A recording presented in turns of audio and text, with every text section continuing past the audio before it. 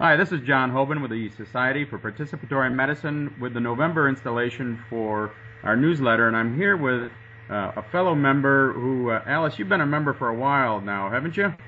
Yes. The um, the topic what we're covering now, it seems a common thread in participatory medicine is how best to achieve victory over pain and pain management and a lot of the, the challenges with that. So Alice, what what's the number one thing you'd like to see in participating with a society as it, relates to pain management?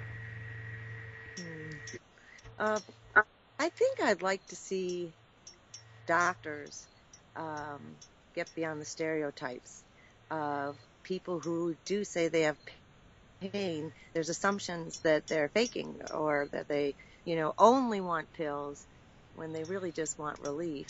And uh, I think that's a very hard issue to because doctors don't want to lose their license and patients are desperately want the pain to go away. And i and i don't see the pain going away.